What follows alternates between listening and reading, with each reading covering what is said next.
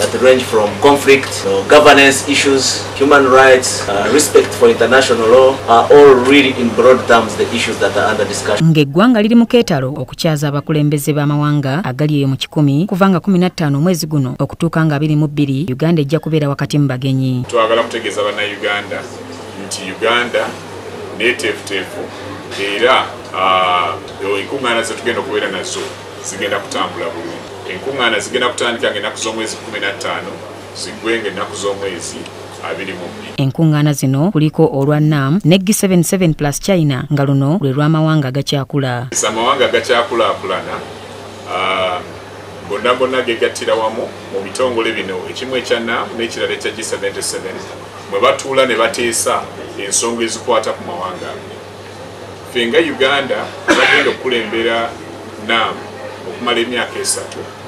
Tuyina thiimu nga thiimu eyo egamba titweyongere okwenyweza ng'amawanga agakulaakulana ah, ate nga mu kwenyeza okwo tugezaako okulaba nti abatusukkulumyeko baleeta tekinologi mu uganda basobole okwongera omutindo ku bintu oba ebyobulimi n'ebintu byonna byonna bye tukola. Ambasada adonai ayebale nga be bali mu nteekateeka zino enkya ya leero batubuulidde bwe batuuse n'enteekateeka zino.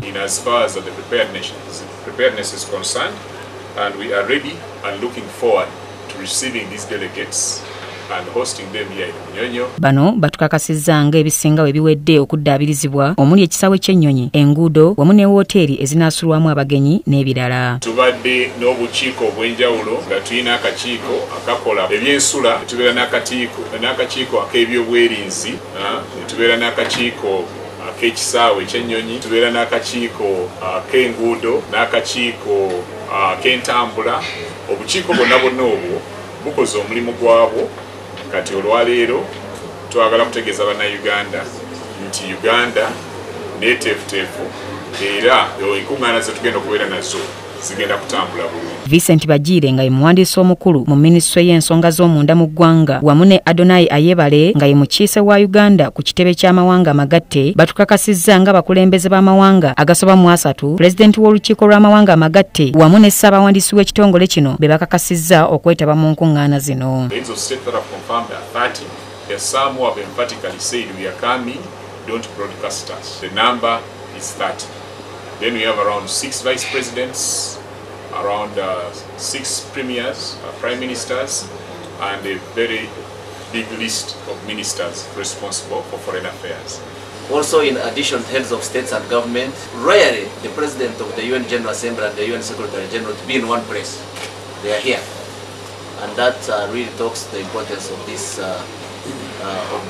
ate ye david luyimbaazi atubuulidde nga siteegi za boodabooda eziriraanye wooteeri awagenda okubeera olukuŋŋaana luno bwe ziggwaddwawo olw'ebyokwerinda by'abakungu abagenda okwetaba mu nkuŋŋaana okuzijjawo kintu kya security.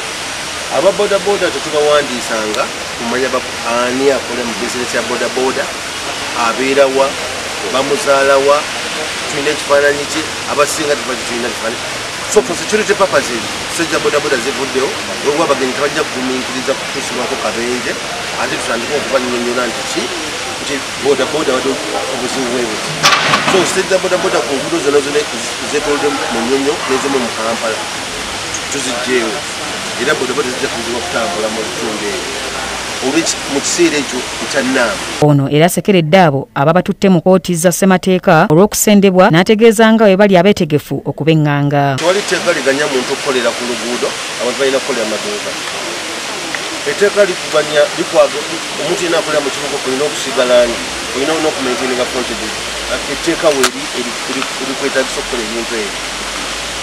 Abantu abazimbye mu ntobazi ne mu mifulejje gy'amazzi ne baziba entambuza y'amazzi ne baleeta amataba tetujja kusobola kubagumiikiriza era basinga tubajjeeyo n'olulaba nga okutukuuma obutonde tutaase ensi yaffe.